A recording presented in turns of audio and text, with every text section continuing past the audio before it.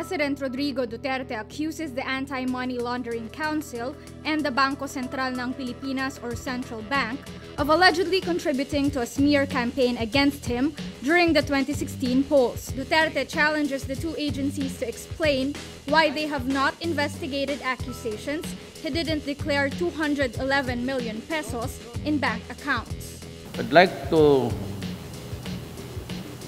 address myself to the Central Central Bank guys and the AMLA.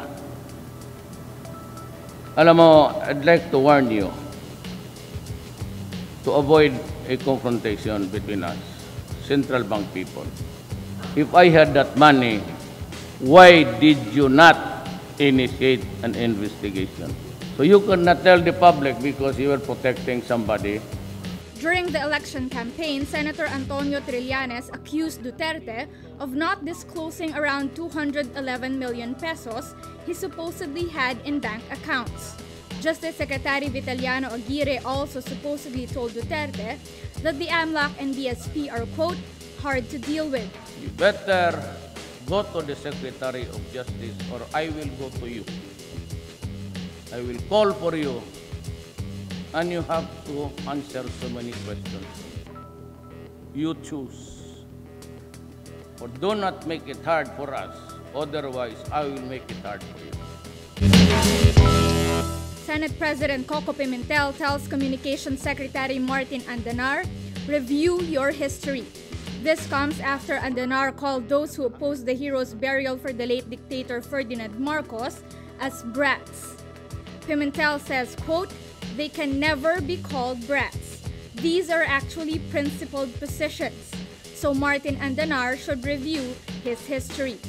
In his newspaper column, Andanar says, quote, both the Americans protesting the outcome of a fair election and the Filipinos objecting to the well-considered ruling of our own Supreme Court are undermining institutions. They are temperamental brats refusing to concede to the outcome of regular processes. The Supreme Court last week ruled there is no law preventing Marcos from being buried at the libingan ng mga bayani or hero cemetery. Ombudsman Conchita Carpio Morales orders the dismissal of Senator Joel Villanueva from public service over the alleged misuse of his pork barrel fund during his time as party list representative. Morales says Villanueva was found guilty of grave misconduct, serious dishonesty, and conduct prejudicial to the interest of the service. The case involves the anomalous disbursement of 10 million pesos of his pork barrel allocation. Villanueva is facing charges of graft and malversation of public funds for supposedly releasing 10 million pesos to a fake NGO in 2008.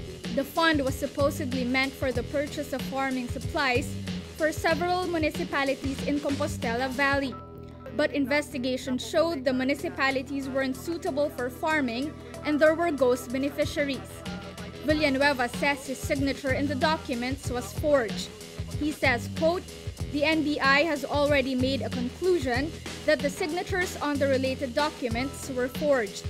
The neophyte senator adds, quote, I already filed a motion for reconsideration before the ombudsman and will leave it to the Senate President to act on the ombudsman's order. Philippine National Police Chief Ronald De La Rosa doesn't regret accepting an all expenses paid trip to watch Senator Manny Pacquiao's recent boxing match.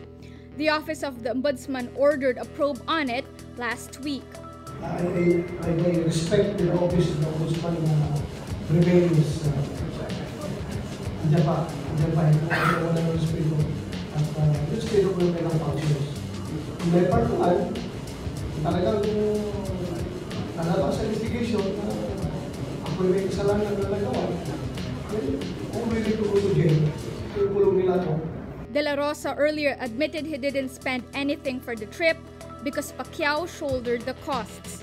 De La Rosa adds, quote, I'll go to jail if I did something wrong. But what's important is that I'm honest. I did not lie. I told the truth to be transparent. If I did that, then I'm man enough to go to jail if proven guilty. Senator Manny Pacquiao again teases the possibility of a rematch with Floyd Mayweather. Pacquiao shows the lining of his sports coat with an image of the Filipino boxer throwing a right hand punch on the right side and Mayweather blocking a punch on the left side. Pacquiao lost a unanimous decision to Mayweather in May 2015. Mayweather hasn't fought since September 2015 but is rumored to be training again.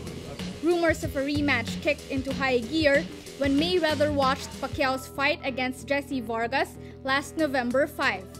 Pacquiao said he invited Mayweather to watch the fight.